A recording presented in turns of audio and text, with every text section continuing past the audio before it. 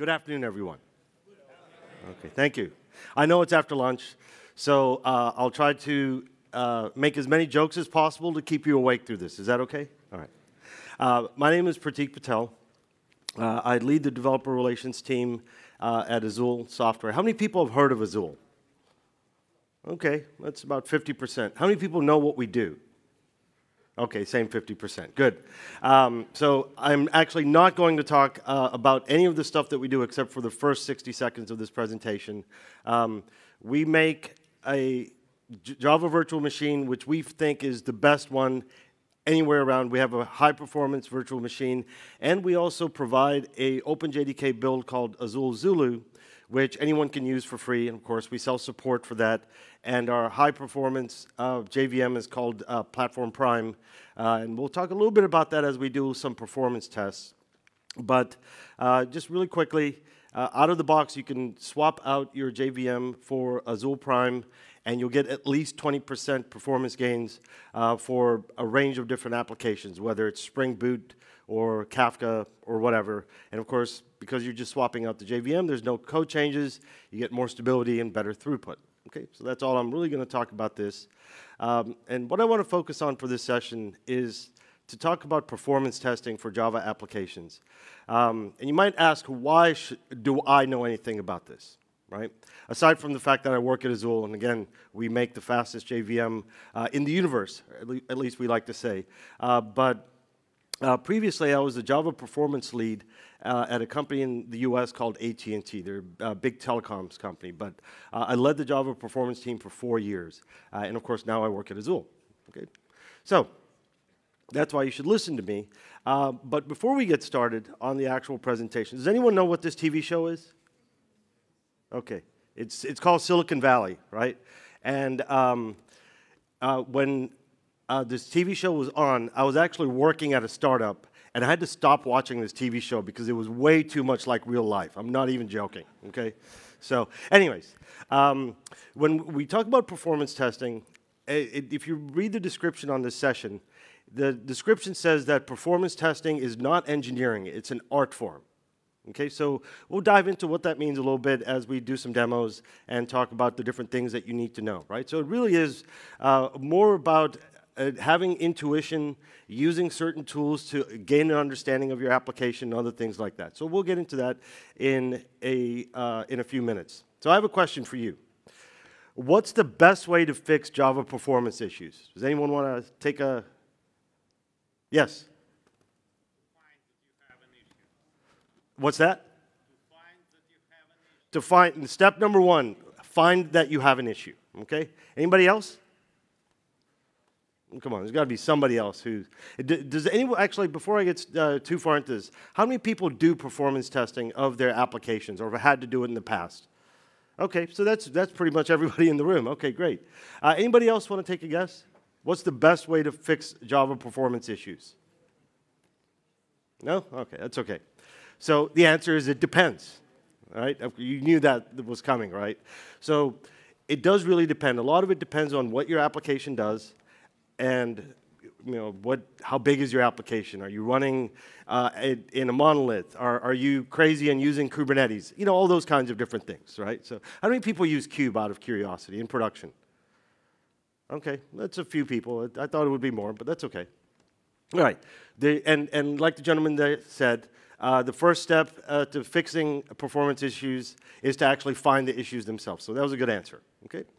All right, so um, the problem is, however, it's way, way, way difficult to actually get to the root cause of your performance issues than it should be. Right? So what I hope to do in this presentation is to give you all some tools, and a lot of this stuff I know myself, but also I work at Azul Systems where we focus very, very heavily on building a high performance JVM. So a lot of this uh, stuff that I, am going to present today is actually a distillation of things that I've learned with working with our rocket scientist engineers who, whose life it is to make Java run really, really fast. Okay?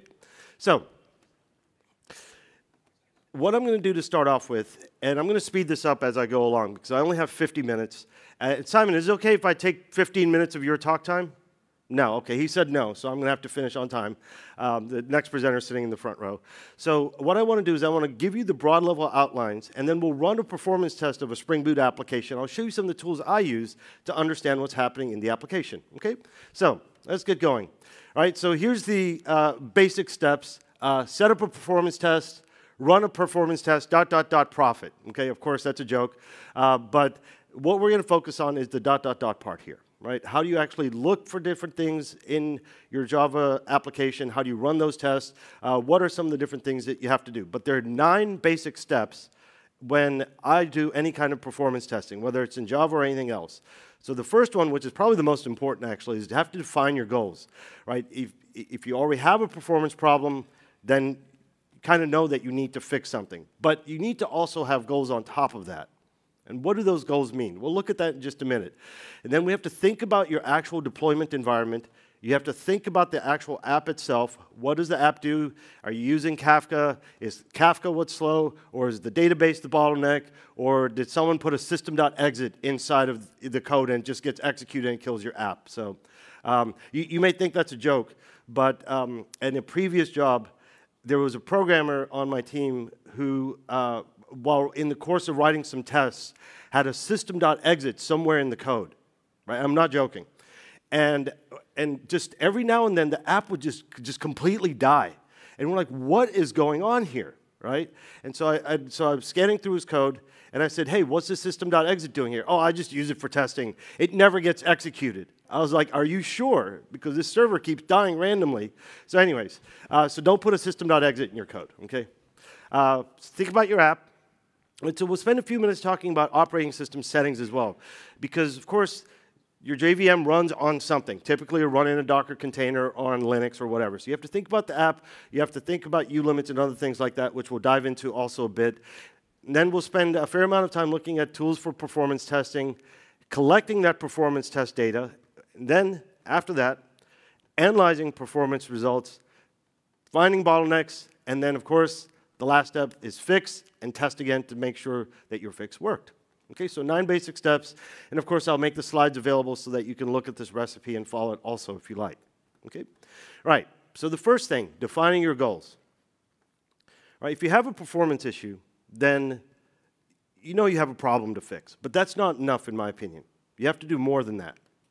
Okay? And it helps you if you do this upfront. I know we try to avoid a lot of architecture, a lot of thinking about an app upfront nowadays, right? We, we want to get code, we want to start writing tests, blah, blah, blah, and get some velocity. But where are your possible bottlenecks or where are your current bottlenecks? Is it around latency? Is it around throughput, right? What is your SLA? What's the service level agreement that you have with your, you know, your business analyst or your customer or whatever? And of course, whenever we're building an app, the main thing we usually care about so that we don't get woken up at 3 a.m. on Saturday morning is the stability of the application, right? So that's probably a given, right? So these are kind of your high-level goals that uh, we want to think about.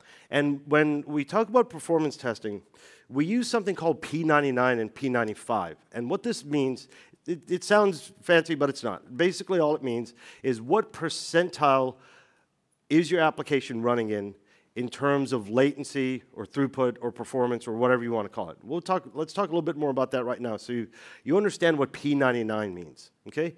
So P99 means 99% of the requests should be faster than the given latency.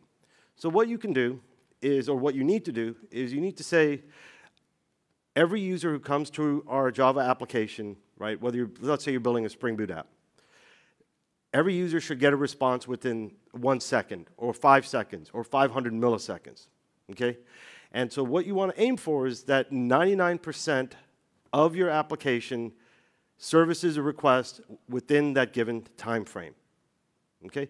So does anybody, uh, uh does anybody think about this or anyone have like these SLAs uh, at where they work or for the app you work on? Like do you, do, yes, go ahead.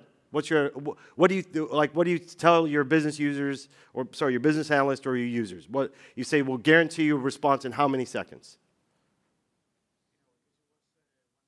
One second, okay. Somebody else over here? Yes.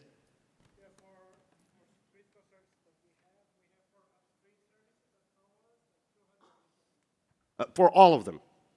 Wow, okay. So you have four upstream services and request hits all of those, including your app, and you have to give a response within 200 milliseconds. Okay, now that's a fairly aggressive target. Doable, but fairly aggressive. Okay, so thanks for that. Right? And so the second part of this is only 1% of the requests are expected to be slower than 200 milliseconds or one second or whatever, right? This is what we kind of aim for. Or um, depending again on your app and what, what kind of uh, demands your users have, you will adjust that up or down. Okay, so let's look and see what this actually means in practice. Okay, so what I've done here is on the left, if you add those numbers up, that's 100. Okay, so when we run some performance tests, these are the latencies we're getting out. I just made this up, right, just for uh, demonstration purposes, right? So you can see that one request out of 100 comes back in eight seconds okay? And then seven, four in, in, uh, in seven seconds, 15 in six seconds, etc. But the important part is here what's at the bottom, which is your P95 or your 95th percentile is six seconds, i.e. 5% of requests take longer than that. And your P99 is seven seconds. 1% of requests take longer than seven seconds, okay? So this is how we think about it, and this is how we quantify, and this is what we're aiming to measure when we do performance tests. Okay? All right, so the other things that we think about in terms of latency, throughput, and other performance metrics is what is our minimum, median, and maximum response times. Okay, so you can see, again, I've just made these numbers up for demonstration. Uh, we kind of get a minimum of, let's say, 100 milliseconds. Our median is 200 milliseconds, but we get some requests which are seven seconds or more. Okay? So again, we quantify these things so we have a better understanding of what our system is doing and how we can then explain this to our users in terms of what they should expect when the app is being used by an end user or whatever. Okay? And again, for demonstration purposes here, I'll put a P95 of 0.5 seconds and a P99, i.e. the 99th percentile of 1.3 seconds. Okay, so for 95% of users, the latency was below 0.5 seconds in this example. Okay, does this all make sense so far? Okay, excellent. All right, so how do we actually explain this then to our business people, right? Because if we, if we show them this chart, they'll be like, oh, I don't know what this even means, right? This is how we explain it. We say, we want 99% of users to have the less than two seconds latency. Or we need to push 100,000 messages a second through Kafka. So this is in terms that your business people will understand. Okay, so that's how we think about this. All right, so we've talked about this already. So um, and what does this actually look like when we chart it? We're going to do a chart here in a few minutes, right? But uh, when we chart this out and we look at latency versus percentile, this is what it looks like. You can see I'll put the, the equal sign exactly where uh, the P95 is, and then the P99 in this case is 200 milliseconds. But you get the idea. This is how we visually graph this and how we think about this in terms of 99th and 95th percentile, right? All right, so let's move on to the next step. Think about your environment, right? Are we running on cloud? Is it on-prem? Are we doing a single server? Is it a distributed monolith, right? So these are all things that we have to worry about. And when we think about environments, um, this is going to sound insane, but the best place to do performance testing is in production, right? And again, this sounds a little crazy, you're like, you're going to run a test on production? The answer is yes. So what we do at Azul, when we go and talk to customers and we look at their performance problems, we always, always recommend, let's try to run this test on production, okay? And we don't run it across like an entire cluster. What we'll do is we'll say, let's, let's run this test on one node in, let's say, your 10 node cluster right? But so that way we don't bring the whole app down because that would be very bad, of course, right? But we at least, hey, let's do it on this one and let's see what happens, right? Because unfortunately, there's not really a good way to uh, completely replicate every nuance of a production system, right? So when I was a performance engineer, full-time performance engineer in a previous job, what we actually did, and again, this is going to sound crazy, is we actually built out an exact replica of production right? It was basically $100,000 worth of hardware that mirrored production. And we ran production tests, or we ran performance tests on that, right? So if you have a lot of money, then by all means, set up something that looks exactly like production. But if you don't, the best place to test is actually on production, okay? So Production performance analysis is the best. It can be non-intrusive if you're careful, and you know you can try to replicate that uh, production type of environment in a test lab if you know if you have the the means to do so. All right. And when we think about how do we actually do this, we want it to be non-intrusive. So using an agent, unfortunately, adds overhead, right? So if you use an agent or if you're using something like AppDynamics or Signals or whatever to monitor it, you know, how many people are running those kinds of APM type of tools in production? Okay, so there are a few people. So you know, whenever you put in an agent that takes these statistics out of a running VM, you always have to pay a cost, right? There's a little bit of added latency. You're basically, you're, you're adding something else into the mix, which may also become a bottleneck, right? But like I said, if you're running a 10 node cluster, you can just run a performance test on one of those nodes and, pray, and pray that doesn't bring the whole system down, okay? And uh, obviously, nowadays things are a little bit more complex because we run in cloud environments.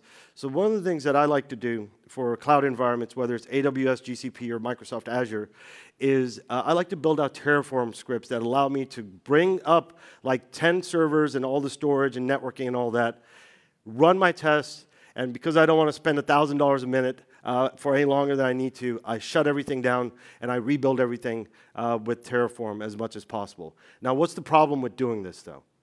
aside from, you know, the added complexity? Anyone want to take a guess? Very good. So the gentleman said you don't have the same information as production. So yeah, I can build out my app tier like, like this with the Terraform script. But what about the, the gigabytes and terabytes of data that I have somewhere, right? So you're absolutely right. Okay? So Again, best place to test, unfortunately, is production, but that's a very good answer, okay? And of course, when we're on the cloud, we typically do horizontal scaling, whether you're using Kubernetes or distributed monolith or whatever. And so then we also have to accommodate for things like network and storage and how fast is the storage that we're hooking into underneath. Do we have our, our virtual private networks set up exactly the same as production, et cetera, et cetera, okay? So again, these are just some things to be uh, aware of. And uh, hopefully this isn't being recorded, but um, one of the problems with cloud environments is that there's typically less CPU time slicing available on whether it's on AWS, GCP, or on Azure as compared to running on your own server in your own data center, right? They, they slice the CPU cycles so, so thin that, again, that can be a little bit of a problem that you have to be aware of. And then, of course, you have to worry about ramp up and other things like that, okay? All right. So let's uh, move on and think about your application a little bit. Okay, so are we running Spring Boot? Are we running Java EE? How many people are still running Java EE out of curiosity? Okay, so a few people. Uh, are we doing something like event streaming with Kafka or with Red Panda? And of course, uh, we talked a little bit about this, but what about external resources like a database, right? Is that your bottleneck? How do you fix something like that? Okay, and I know reactive is all the rage right now, uh, but unfortunately, reactive is not uh, reactive style programming is not a silver bullet uh, when it comes to performance issues, uh, because you can still have loads of bottlenecks uh, within your environment, even if you're building something fully reactive. Is anyone building fully reactive applications? Okay, what, what are you guys using, just out of curiosity? Vert.x? What's that? Project Reactor, right, that's the Spring thing, right? Yep, okay, got it. Okay, and the other thing is, if you're running in a Kubernetes style cluster, do you do auto scaling? Does, it, do your app, does your nodes in your app go up and down depending on demand, right? So I don't think a lot of people do auto scaling in Kubernetes currently. How many people are using auto scaling in Kube right now? Anybody? Oh, wow, okay. So how's that working out for you guys? I'm just kidding. We'll talk about that later. So, uh, all right right? The other thing, uh, in terms of knowing your app, do you have uneven load across your application? Is, is it 100% properly distributed across nodes in your cluster? And I think the biggest takeaway out of this specific set of slides is the second bullet here, which is how much capacity do you need at peak? Okay? If you, if you always have like a steady load like this, then you know, you're, go, you're, you're great, right? You don't have a lot of variables to deal with in terms of uh, you know, how do you accommodate for load. But most people generally have an app that goes up and down in load, right? So how, do you, how much capacity do you need at peak, and how do you figure out what that capacity is? So this is another challenge you have to think of uh, in terms of knowing your application. All right, so uh, let's move on and talk about operating system settings. So there's a whole bunch here, but I just want to highlight a few and at least give you an idea of some of the things that you should think about in terms of OS settings, right? So there's something called uh, the virtual machine minimum free kilobytes. So how much, how much memory is actually allocated to your Java process? So what, what we like to typically do at Azul is we like to set this to be one gigabyte in size, right? Or whatever the size of your VM is, right? Your heap. Uh, of course, uh, everyone knows what ulimit is. Uh, typically, you want unlimited um, uh, ulimits on that. And then we can use just some simple command line tools like lsof to get additional statistics in terms of our OS settings, right? But the, one of, I think the biggest takeaway here is that it, for any Java application, always, always, always disable swap. Never use swap space, okay? Because that can be an immediate uh, problem once whatever machine you're running on, whether it's your own server or running on the cloud, um, you want to use the second line on this slide to turn off swap. Because you never want your JVM to swap memory uh, out of memory and into disk. Okay, that can be a huge problem with performance. So, all right. So let's, uh, let's do a demo now uh, after I talk about these tools for a few minutes. But I'm just going to use some simple tools here, right? There's a whole bunch of tools. People will try to sell you different types of tools, but you don't actually need a lot of different tools to, to be able to do good performance analysis, okay? So uh, I'm going to demo in just a second Visual VM with the Visual VM garbage collection plugin. Okay, so you see that in action in a few minutes. Um, you can also use something like Java Flight Recorder to take uh, performance uh, profiling information, right? The problem with the, this Java Flight Recorder and taking those profiling snapshots is it is an intrusive type of tool, right? So it adds overhead into your application. But sometimes, if you can't figure out what's wrong with the other tools, then you do need to uh, reach into something like JFR or Java Flight Recorder and take uh, profiling snapshots and then analyze them by hand. Okay? And uh, for load testing, there's a whole bunch of different tools. Uh, in this, uh, in a few minutes, I'm going to demo JMeter. Uh, I'm pretty sure everyone's at least familiar with it. A lot of people use Gatling, uh, which is another uh, load testing tool, and that works reasonably well too. Okay, so it's up to you what you use for that. That, that part is not super, um, super difficult. Okay, and then a couple of other command line tools, JStack and JStat for seeing what your VM is doing, taking snapshots of threads, uh, taking snapshots of what the garbage collection looks like, et cetera. Okay? So one tool that I do want to highlight, uh, this is a tool created by Azul's CTO, Glenn, uh, Gil Tene. Uh, it's called JHiccup, right? And I want to explain, and, and, it's freely available. You can come to our website and download it. But I find this tool is actually really, really useful, right? Of course, all the other tools are also useful, but this one is actually really good. And I'll show you a demo in just a second also. Right, so what JHiccup does is it measures the pauses that can affect a running JVM. Okay? So basically, a pause can be from within the VM, i.e. a garbage collection, or it could be something that's in the operating system. Right? So what this tool does is it basically measures what those pauses are. And it's not just the VM, it's all the way down to the metal, right? Or whatever you're running on. Okay? So once you have this analysis out of it, and this is not an intrusive tool, right? This is why, this is the other reason I like it. Um, we use a histogram log analyzer to see the output of JHiccup and, and it basically build out that graph that we were looking at earlier with the P99 and the P95, i.e. the percentile. And the way JHiccup works is it uses a single thread that sleeps for a second, it wakes up and records the time since it last went to sleep. That's all it does. But surprisingly, this is a very, very useful tool. Okay, we'll see in action in just a minute. Okay, and so if you want a visual representation of what this looks like, it looks, it looks like this. Basically, there's a single thread. It wakes up and says, what time is it? Goes to sleep for a second, wakes up and says, what time is it? And records how long that is. So basically, it allows you to see if there are any pauses in your application that are keeping this thread from waking up exactly one second apart. You could adjust the time, by the way, but one second is typically enough. Okay, so you get the idea here and kind of what that looks like. All right, and uh, when when we see pauses, this is kind of what it looks like right here. Right, you can see everything is green, but if you're getting pauses, uh, they'll show up, and uh, it basically says, okay, every millisecond, I'm going to wake up. When was the last time I was awake? Another millisecond, wake up, etc. Okay, you'll see in just a second, so it makes sense to you. And this is how you run JHiccup. You basically install it as an agent uh, as part of your application. And this is actually what we're going to be running. This exact thing is uh, the Spring Pet Clinic application. Everyone's familiar with the Spring Pet Clinic application by now, right? Yeah. Okay. All right. So uh, the other thing that I'm going to use uh, is the Azul uh, garbage collection log analyzer. Uh, unfortunately, this is not something we've open sourced yet, but hopefully it will be soon. Um, and it's specifically made for Azul uh, Prime, which is a high performance VM, but there is a build yet. Uh, there is a build for OpenJDK and Zulu, um, but there are other log GC log analyzers that you can also use. Okay, and this is what the demo setup looks like. Uh, we're going to use JMeter to drive a Spring Boot application, and we're going to look at garbage collection and the JHiccup logs, as well as look at it in Visual VM and Visual GC. Okay? So uh, let's pray to the demo gods that this works. So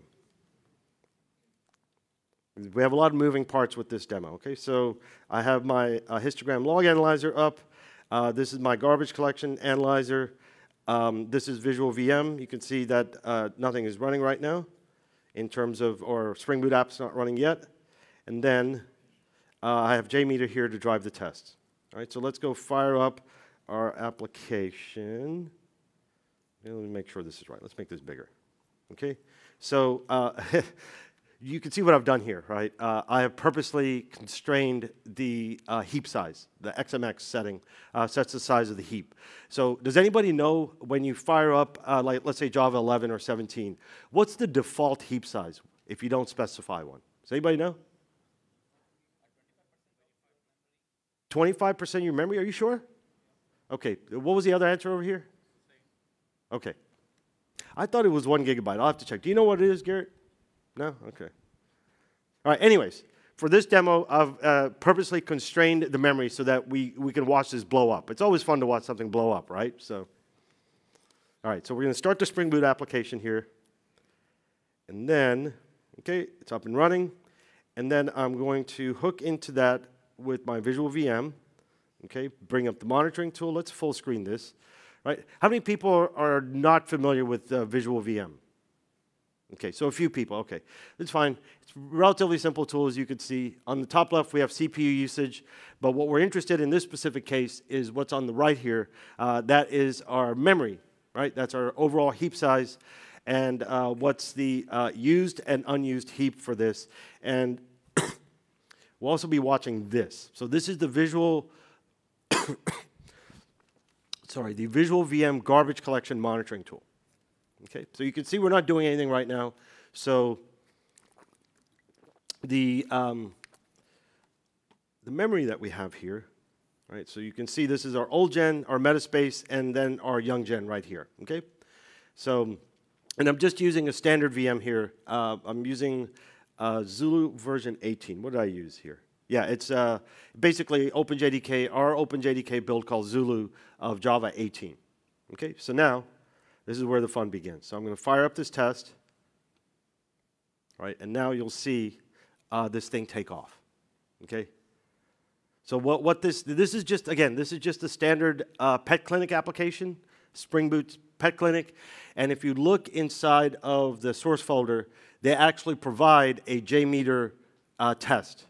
So you basically, you can run this by just cloning the Spring Pet Clinic uh, repo, start up Spring Boot, and then you'll find the JMeter test plan uh, inside the source directory. So I didn't want to create anything fancy so you all could replicate this test it, uh, yourself and play around with these tools. Okay, So you can see this is running now. Um, we're using lots of memory uh, because this is going in and it's creating like a new object and then updating an object and deleting it, blah, blah, blah, right? It's just running the standard test plan. But you can see this is running here. Um, let's go look at the CPU. I'm not really taxing the CPU very much here, but you can see using a little bit of CPU here, right? About, about uh, 7 to 10% CPU. But you can see that classic seesaw in the heap usage here, right? So allocate objects, allocate objects. We start using memory. Garbage collector kicks in. It frees up that memory for more requests, et cetera, et cetera. Pretty, pretty standard stuff in terms of um, a Java application. Now, let's go and look at a couple of different things here, okay? So first of all, let's go look at the garbage collection log, which will be here. Uh oh. That's not good.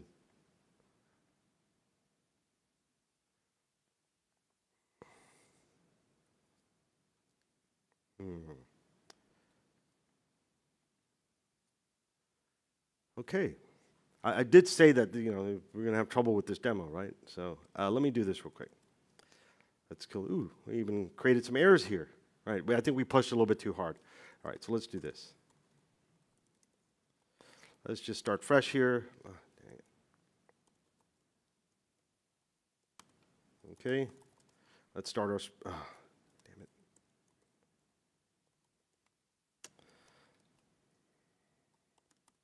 Okay, let's make sure that I've create, nuked all the old logs, cleaned out all the crap. Okay, let's start our Spring Boot app again.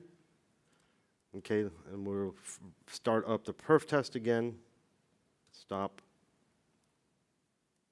Okay. Let's make sure that this is running properly now. All right. Nope. Still not happy.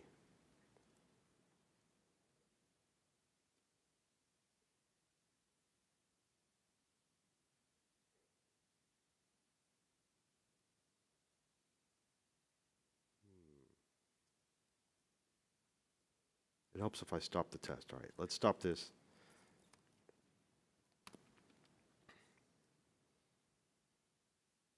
Okay, now it's running.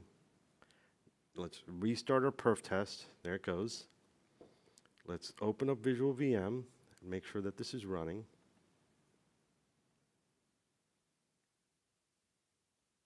Okay, there it is. It is running now. I'll let this run for about 60 seconds and talk about this.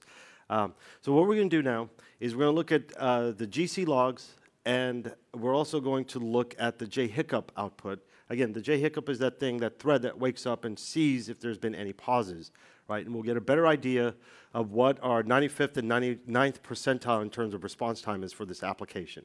All right, so we're going to keep this running, and hopefully now,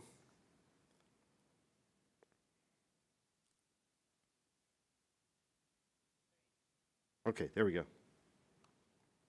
All right, so uh, here, let me make this full screen. All right, so this is basically our garbage collection output. Um, you can see that when the app first started up, as Spring Boot was getting set up, it, it creates a bunch of objects, and then uh, it goes and garbage collects them. So you can see there's a big GC pause right as we started up this application. But that's just the application getting warmed up. Okay, we can talk a bit more uh, if we have time about warm-up time, and uh, all of you are Java devs, so you know that it takes a while for the just-in-time compiler to really get efficient, right? So there's a lot of inlining and other method inlining, et cetera, et cetera, stuff like that that happens to, to optimize the application as it starts running and it's under load, okay? But that's the initial setup time, and it looks like we hit a really long GC right here. Let's see how long that was. Let me zoom in a bit. Wow, okay, so that was a really long GC that happened in there. But again, uh, we are pushing this application really hard. And if you remember, uh, I started this thing with, um, wow, okay, it's way at the top. Anyways, you remember me uh, starting it up with just 64 megs of RAM. So we're running in a constrained environment. Uh, so, so that GC log analyzer uh, or whatever uh, tool you use to do analysis of GC logs. This is, a, this is actually a really easy way to understand what your application is doing. And the nice thing about the, the producing the garbage collection logs, whether you're running uh, a, a JDK or OpenJDK or whatever, is that it's not intrusive. It basically just spits out information saying, this is, I've just done a GC and it took this long. I did another GC and it took this long. I did another GC and it took this long. And it gives you stats for how much memory is being used and stuff like that. We could actually look at the raw, raw results, but it's, it's more useful to, to look at it in an aggregate like this and get an idea of like, when are we hitting GCs? And oftentimes you can correlate these garbage collection uh, pauses to performance problems in your application. Okay, so this is the, probably the, the most useful thing about that. Now let's open up this other J, let's open up our JHiccup file now. Okay, let's see which one do we want to use. Uh, this one. okay, so this will take a second to boot up. But here, again, this is our JHiccup log file. Right, and you can, again, this is free software. You can download it from our website. But if you look at this, you can see that again, that's that thread that sleeps for a millisecond, wakes up, and records the last time it was uh, woken up. So whenever the, the VM is very, very busy, or when it's doing a garbage collection, it will miss, that thread will miss firing on that one millisecond interval, right? And that's what this is producing. It's basically giving us the latency of the JVM, of the running JVM. Okay, so that's what we're specifically measuring. With the garbage collection log analyzer, what were we measuring? We're measuring memory and memory basically throughput, speed, whatever. What this is measuring specifically is the overall app's CPU utilization and overall load on the app. Okay, so let's have a look at this and see what, uh, what it looks like. Right, so if we hover right here, you'll see that it looks like we had uh, 85 millisecond pause right here, right? So this is, uh, this duration is in milliseconds. Uh, this pause was 40 seconds, et cetera, et cetera. And then if you look down here, this is the percentile thing that I was talking about, right? So you can see that we can eyeball this really quickly. Let's zoom in a bit. And it looks like right about here is the 95th, 99th percentile. And our app, in this case, right, that's in milliseconds, so we can say that for this specific application, right, so it's right here, so it looks like that would probably be about a 4 millisecond 99th percentile, or a P99 of 4 milliseconds, which actually is really good, right? So if you have a 4 millisecond latency in your app, you're not worried about it at all, okay? And if we look at the 99th, 95th percentile, that would be approximately right about here, and you can see that uh, the latency is actually very, very low here. So your P95 is probably, I don't know, like two milliseconds or something like that. Okay, so that's how we figure out like what's going on with this app. Now the other interesting thing is that if I flip back to this garbage collection log, we can actually correlate the exact time within this JHiccup log analyzer, right? So this happened at uh, the 52 second mark, and if we flip over here, you can see that there was a long garbage collection. Actually, let's come down here. right, so that J hiccup thing told us that at approximately, um, whatever, 50 milliseconds or whatever into the application, there was this long pause in the app itself right here. Right, so we can actually correlate directly from this J hiccup output when we see latency to this uh, garbage collection chart, right? So we actually see that latency in both ways here which is really interesting. Okay? Let's see what else we want to look at in terms of these tools, right? Oh, the app is still running, so it's still, still going here. Um, now, let's, let's spend a couple of minutes talking about garbage collectors, right? Every, every Java developer's favorite topic, garbage collection. Um, so just let me, I just want to take a quick survey. How many people just use whatever out-of-the-box garbage collector uh, comes with your VM? Okay? How, okay, let me rephrase the question. How many people are using uh, their own, like modified, not their own, but how many people set to a different garbage collector? Like, is anyone using ZGC? So, which one are you using, sir? Using uh, G1? Okay. Anybody else? Oh, come on now. No, seriously. Oh, okay. We, parallel for maximum throughput, yep. Right. Right. Shenandoah for Java 11. Okay. Got you. Okay. Anybody else using something a little bit more uh, exotic than those? Okay. No, that's, so so uh, you actually made a really good point, right? When when would you use a serial versus parallel versus Shenandoah versus G1, right? Um, and, and, the answer to that is it depends. I'm just kidding. Um, but uh, it, it, it really does depend on your application and unfortunately, I'd love to talk about that, but I could spend the next three hours talking about which garbage collector you should use. So, what you should do is if you're interested in talking about it, I'll be at the Azul booth after this. Uh, I'll give you a nice hat and we can talk about garbage collection for the rest of the day, okay? So, please stop by uh, if you want to chat about that. So, um, now, here's something that's really interesting. There was a research paper that was uh, published, so, since we're talking about garbage collectors, there was a research paper that was recently published, nice hat, um, out of uh, the University of Sydney, Australia, and Google. And they have uh, just released this source code and a really nice white paper or research paper on a new garbage collector that they're working on called LXR. Okay? So if you do a Google search, uh, ironically, a Google search for LXR uh, garbage collection Java, you'll find a source repository with this new GC, and uh, you'll find the paper that they've written. And it's actually fascinating because what they've figured out is that they can run a, uh, a garbage collector that pauses, but with a guarantee of no more than a 10 millisecond pause due to the garbage collector. Okay? And a 10 millisecond pause for a very large heap uh, and garbage collection is actually extraordinarily good. Right? So what they do in this, what they did basically is instead of collecting the entire heap when they do a garbage collection and clearing out those old objects, what they do is they limit it to whatever that can be done within a 10 millisecond interval right? So it's fascinating paper. If you're if you're a garbage collection nerd like I am, uh, go read the paper. You can go download uh, their application and run it, and it's really nice. So. Um, and, and, and, of course, uh, Azul makes their own garbage collector with collector, collector that comes with our uh, premium VM uh, called the C4 garbage collector, uh, which is, uh, again, depending on your use case, is uh, a really good garbage collector for high performance applications. But that's in our proprietary VM, so I'm not going to demo that today. Okay?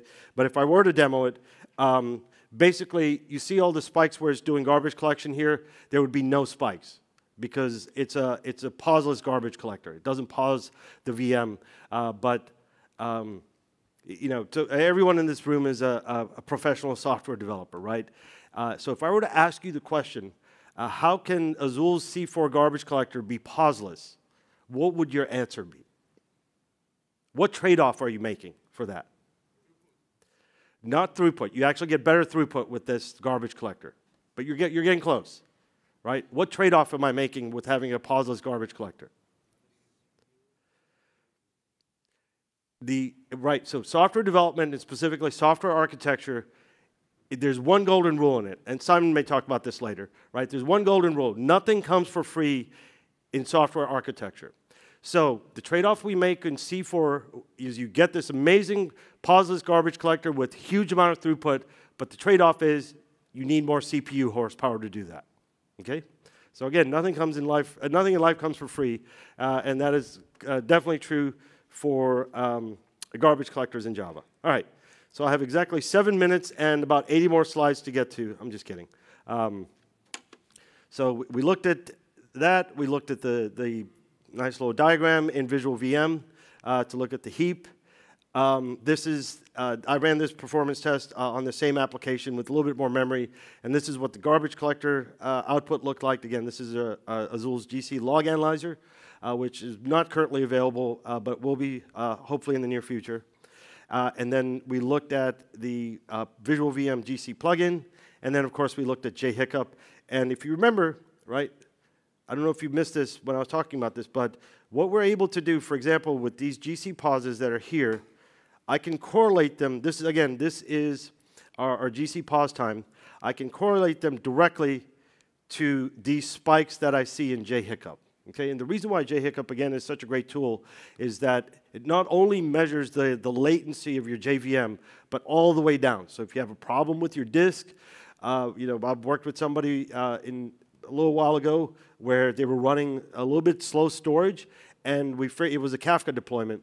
And if you're running Kafka, uh, the number one thing that you need to have to have a performant Kafka cluster is not CPU, is you need to have really fast storage.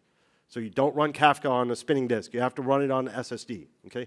Anyways, but so we're able to correlate these different uh, JHiccup pauses that we saw directly into garbage collection and into disk I.O., okay? All right, so we already did the demo.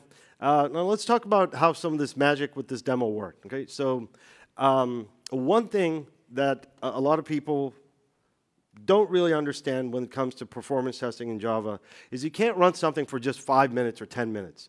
When I'm running a real performance test, I run for at least an hour. Okay? So you have to you have to put it under load and you have to you have to push it hard and you have to run it for a long amount of time. Okay? And again, we talked about running on production. real load is way better than simulated a uh, load, right? So if you can, put it into production uh, or put some of these tools into production and, and get these results out, okay?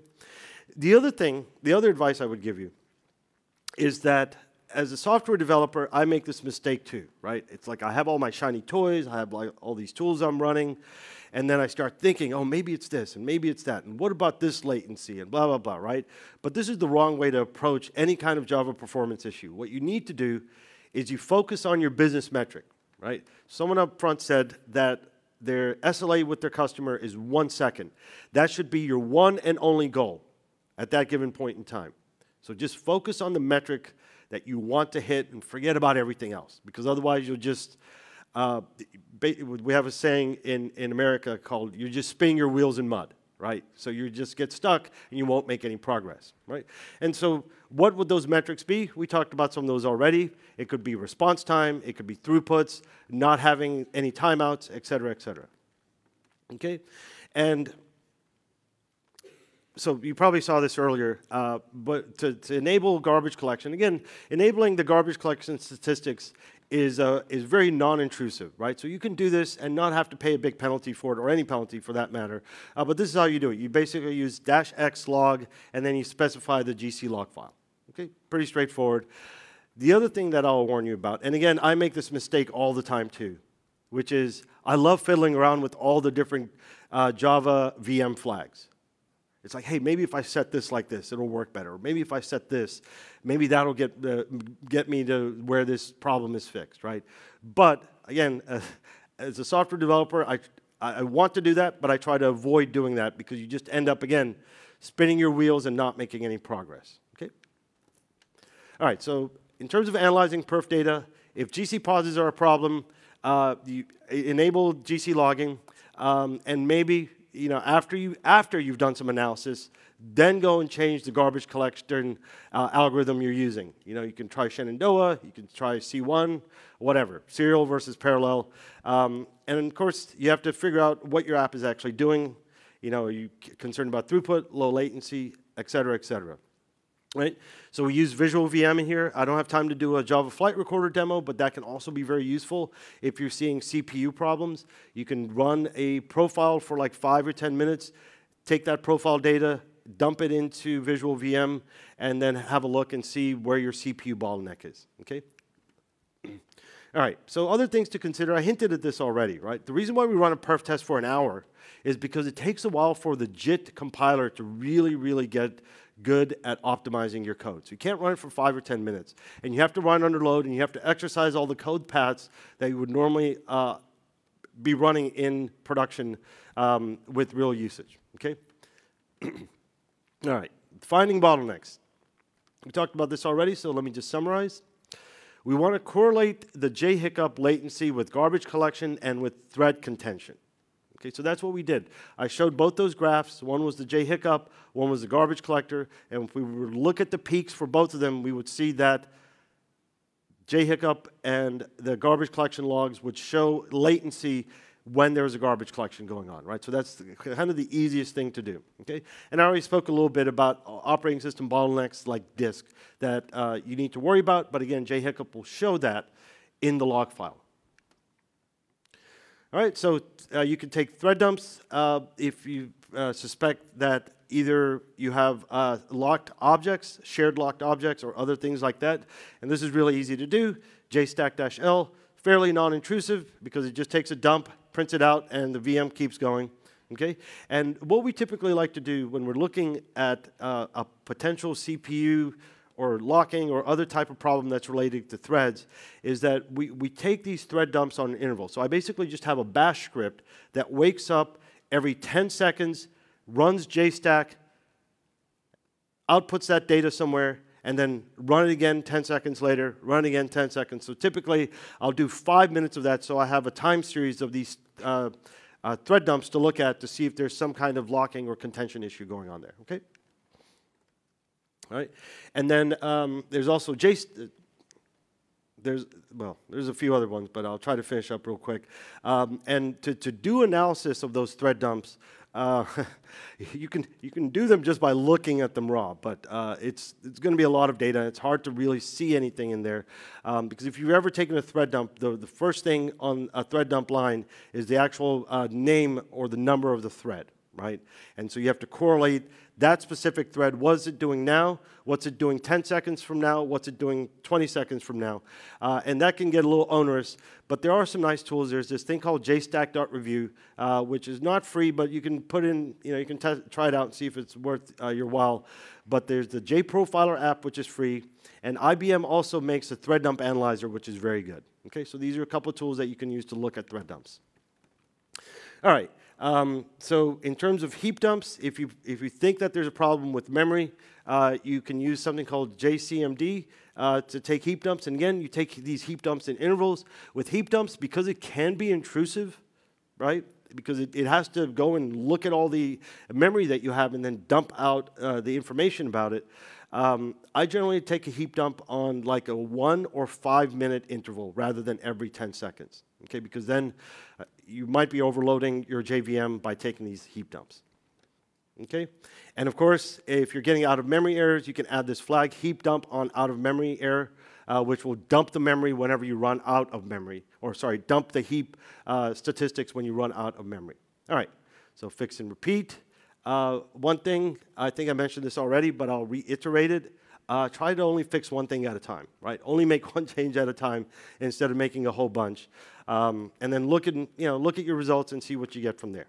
Okay, uh, so that's uh, um, a minute or two over time, and I want to let Simon get up here so he can give his presentation. Uh, but if you, if you will come to the Azul booth, uh, I'll be happy to take questions there. Uh, Garrett from our team is also here. Uh, so thank you for listening, and I hope you enjoyed this talk.